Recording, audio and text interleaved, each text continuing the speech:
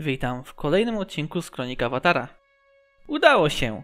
Przebiliśmy 2000 głosów w ostatniej ankiecie, w której to wygrał temat o nazwie Biblioteka Van Shitonga. Tak też przed wami ten oto film. Czym był ten niezwykły pałac wypełniony po brzegi wiedzą, pilnowany przez sowopodobnego ducha? Usiądźcie wygodnie na fotelu z kawką lub herbatką w ręce i zapraszam do oglądania. Ta biblioteka jest droższa niż złoto, droga pani. Zawiera bardzo bogatą kolekcję wiedzy i ta wiedza jest bezcenna. To są słowa wypowiedziane przez profesora Zeja do Tof.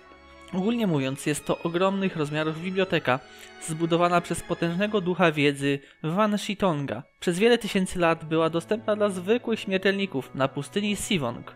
Aby mieć do niej dostęp, trzeba było spełnić jeden warunek ofiarować swoją wiedzę w zamian za wiedzę biblioteki.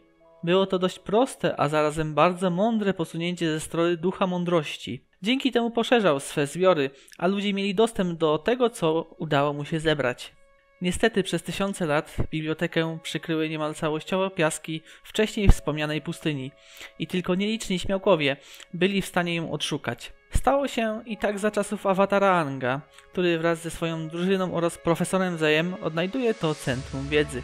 Co wartym jest napomnienia to fakt, iż Van Shitong zabraniał używania wiedzy zdobytej w bibliotece do celów wojennych czy szkodzącym innym. Tak też niestety jedni z ostatnich odwiedzających bibliotekę, czyli Zao próbujący odkryć jak pokonać plemię wody i drużyna Awatara próbująca pokonać naród ognia, nie posłuchało tej przestrogi, co skończyło się gniewem ducha wiedzy.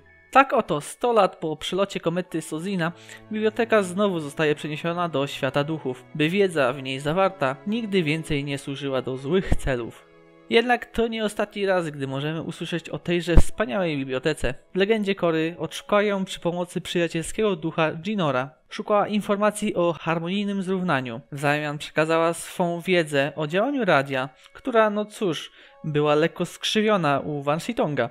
Myślał, że w środku metalowego pudełka siedział mały człowiek grający na instrumencie, co jak wszyscy dobrze wiemy, nie jest prawdą.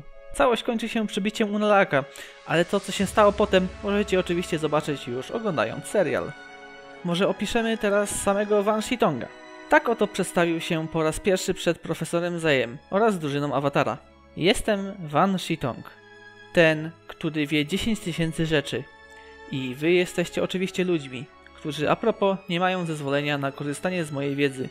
Sam duch gardził istotami ludzkimi. Twierdził, iż potrafią toczyć tylko bezsensowne wojny, które do niczego nie prowadzą. Sam przypominał wyglądem ogromną, czarną sowę, lecz gdy się wkurzył, zmieniał się w coś na wzór sowiego wężosmoka. Ciekawym jest, jak pozyskiwał wiedzę do biblioteki, mimo zasypania jej przez piaski pustyni oraz zakazu wpuszczania śmiertelników. Pomagały mu w tym lisy poszukujące wiedzy. Wyruszały świat, aby przynieść z powrotem nowe wynalazki, skrypty, księgi czy zwoje. Były też bardziej przyjazno nastawione do ludzi, nieraz pomagając znaleźć konkretne informacje w tej ogromnej bibliotece. Wymieńmy może teraz, co wiemy, że na pewno można było znaleźć w bibliotece.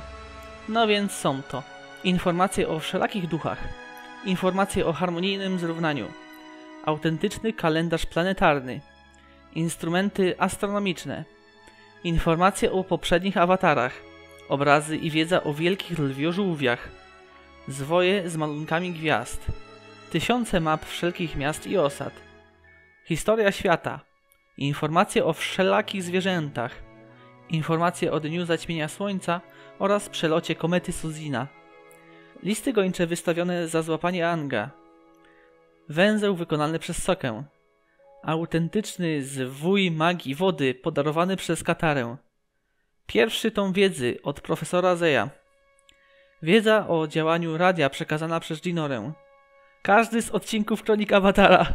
Wiem, bo sam je zgrywałem dla lisiego poszukiwacza. Wiele i to wiele innych rzeczy, o których nie mamy pojęcia, ale na pewno tam są. To chyba wszystko, co mogę wam powiedzieć o tym niezwykłym miejscu. Oznacza to też tylko jedno. Czas na ciekawostki! Konstrukcja całej biblioteki przypomina Taj Mahal, czyli jeden z cudów świata, mieszczący się w Indiach. W mandaryńskim dialekcie języka chińskiego imię Won Shitong oznacza ten, który wie tysiąc rzeczy. Wan Shitong, jak wiemy, nie wiedział wszystkiego. Bez przerwy zbierał wiedzę, a niektóre informacje, które posiadał, niekoniecznie musiały okazać się zgodne z rzeczywistością. Van Shitong w jego dwóch formach reprezentuje zwierzęta symbolizujące mądrość, sowę w świecie zachodu oraz węża w świecie wschodnim. Niestety los wspomnianego wyżej profesora Zeja jest dość smutny. Jego chęć chłonięcia wiedzy doprowadziła go niestety do śmierci. Wiemy to, gdyż pokazany jest jego szkielet podczas wizyty w bibliotece Ginory. No i to by było na tyle.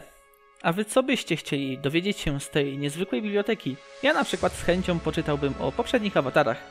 Było w końcu ich tak wielu, a wiemy tylko kilku. Piszcie! Ja oczywiście zapraszam do wypełniania kolejnej ankiety. Znajdzie się ona w mojej zakładce społeczności. Link znajdziecie teraz także w opisie. No i jeżeli oczywiście chcecie mnie wspierać i otrzymywać informacje o kolejnym odcinku z Kronik, zasubskrybujcie kanał. I to było na tyle. Do usłyszenia w kolejnym odcinku. Na razie.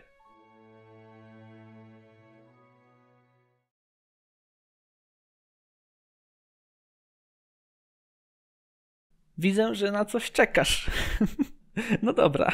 Cierpliwi zawsze wynagrodzeni. Oto losowa ciekawostka dla ciebie. Malowana pani jest duchem wody. Jest połączona niejako z duchami księżyca i oceanu. To oznacza, że jest też niejako połączona z księżniczką Yue. Jej tajemniczy i złowieszczy wygląd jest podobny do tego Yue w formie ducha księżyca. Zauważyliście?